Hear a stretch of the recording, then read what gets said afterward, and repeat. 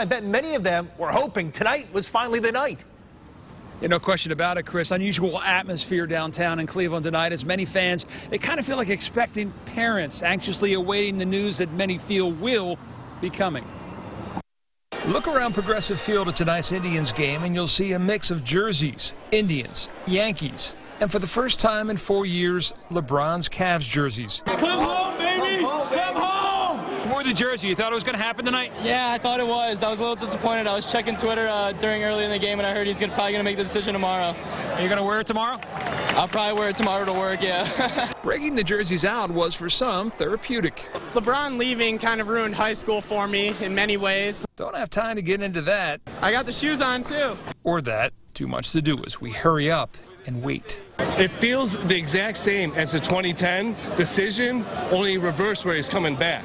Yes, as fans anxiously awaited the news out of Las Vegas, many did so with one eye on the action on the field and the other glued to Twitter. What were they finding out? And this guy says that, you know, I heard that his, you know, this guy, this guy and that guy. Still, most thought the fact that LeBron still needed time to check with his family means one thing. the fact that it's taking this long, I think he's coming back. You know what? I have a good feeling that he's, he's home, man. LeBron, the king, he's home. I'm optimistic. And I, I wouldn't even say cautiously optimistic. It's more like a feeling that it's, it's going to happen. And obviously, the big question tonight on everyone's minds just when whatever will happen, will happen. Live in downtown Cleveland, John Kosich, News Channel 5.